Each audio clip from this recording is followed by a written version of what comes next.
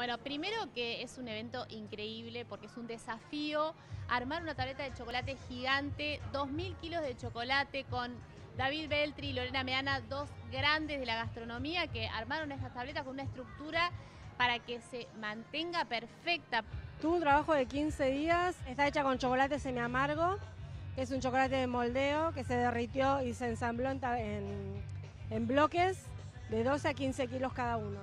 Una vez que la teníamos ya todas preparadas,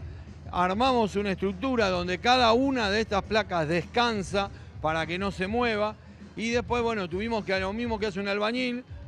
tomarle la junta, taparlo y recién ahí, junto a Lorena, pusimos eh, los dibujos de los conejos, que todo es comestible. Nosotros fuimos a Guinness para cerciorarnos y ellos nos comentaron por mail que el récord lo tenía Armenia. Armenia hace unos años atrás realizó una tableta que después nadie la,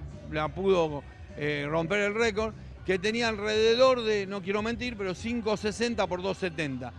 Nosotros, la estructura esta tiene más de 6 metros, o sea, 6 metros 8, 6 metros 5, pero supera los 6 metros y, y supera los 4,30 de alto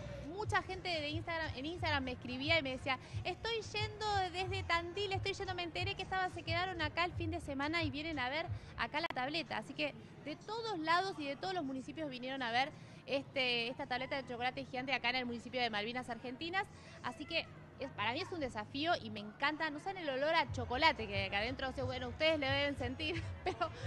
lástima que no se transmite a través de las cámaras. Es increíble.